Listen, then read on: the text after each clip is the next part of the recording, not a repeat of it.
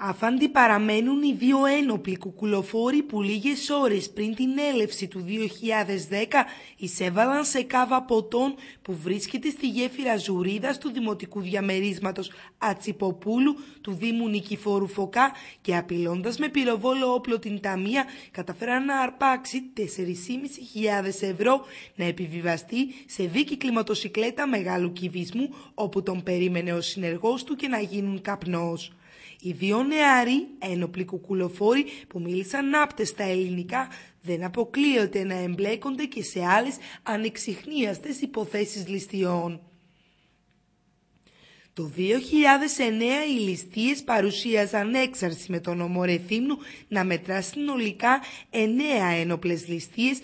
όπου η Λία ανέρχεται στις 306.000 ευρώ με τις προτιμήσεις των αδίστακτων κουκουλοφόρων στις περισσότερες περιπτώσεις να είναι οι τράπεζες, τα μηχανήματα αυτόματης ανάληψης και οι χρηματοαποστολές.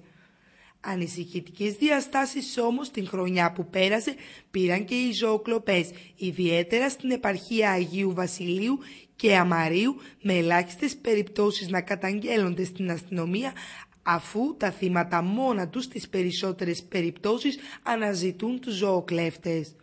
Δραματικά όμως είναι τα στοιχεία της τροχέας Ρεθύμνου με τα θανατηφόρα δυστυχήματα που σημειώθηκαν το 2009 στο νομό να κατατάσσουν το Ρέθυμνο στις πρώτες θέσεις των θυμάτων της ασφάλτου σε πανελλαδικό επίπεδο. Σημαντική ωστόσο ήταν η μείωση των χασισοκαλλιεργειών με τις επίγειες και εναέριες έρευνες της ελληνικής αστυνομίας να φαίνεται τελικά να αποδίδουν καρπούς.